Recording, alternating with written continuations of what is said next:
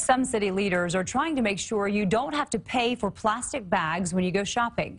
Mayor de Blasio's 5 cent tax for shopping bags is expected to go into effect one month from today. The tax would be imposed on paper and plastic bags at grocery and retail stores.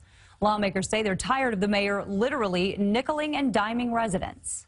The purpose of this tax is to irritate New Yorkers into changing their behavior. We don't need to be irritated. We are irritated. There's so much trouble in the city in so many different places. Isn't there anything more important than taxing New Yorkers over and over? Supporters of the bill say the tax will help the environment. It was originally supposed to take effect last October, but was pushed back to next month.